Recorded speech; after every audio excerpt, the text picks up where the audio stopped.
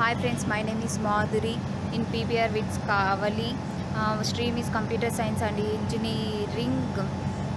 Yeah, I have placed in uh, EY company uh, 4.5 lakhs per annum. Uh, before the joining the institute, uh, I have not a good communication skills and uh, technical skills. And after the joining is in a good communication skills and knowledge. I have good teaching uh, about in this institute. That's all about me. Thank you.